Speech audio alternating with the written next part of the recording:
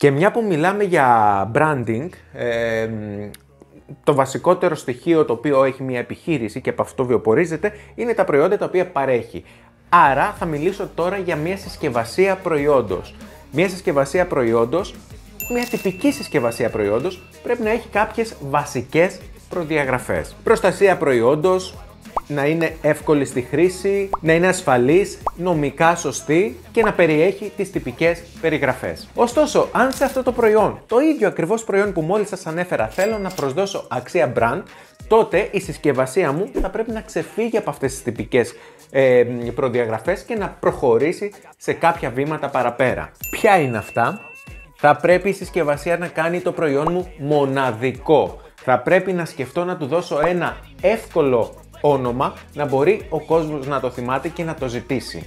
Είναι πάρα πολύ σημαντικό να ξέρω δηλαδή τι σημαίνει αυτό το όνομα στο κοινό το οποίο απευθύνομαι. Θα πρέπει να τραβάει το ενδιαφέρον απάνω στο ράφι που βρίσκεται ως προς το χρώμα, ίσως το υλικό που είναι κατασκευασμένη η συσκευασία, ε, στο σχέδιο, στο design, έτσι, θα πρέπει να είναι ενδιαφέρον για το χρήστη στον οποίο απευθύνομαι. Και δεν το συζητώ, θα πρέπει να διαφέρει από τον ανταγωνισμό.